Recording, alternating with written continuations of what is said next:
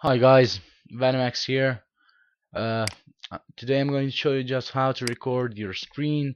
It's very simple as you can see. You just download FastStone Capture. You can find that on uh, Google actually. Okay, just type in here FastStone Capture.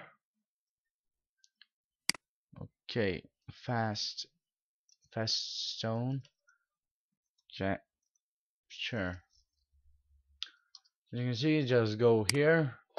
That is that side okay. Uh, just going to close it. From here just click download. Uh, that is the trial version. Uh, so you don't have to pay for the lifetime license that is.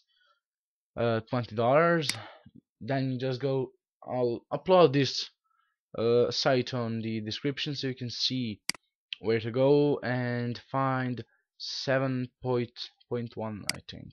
7.1 yeah. Okay. Uh serial as you can see and I'll upload actually I'll put this serial in the description. Okay? So you don't have to work that much. Uh, just copy that you know put it in the serial box. Uh, I'm going to show you how to on another video actually. I'm going to show you how to add voice along the video then uh, upload the title capture screen. As you can see I had the Venomax Productions.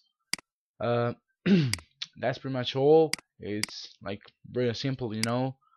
Uh, and don't forget to keep calm and subscribe to Venomax thank you people for watching and goodbye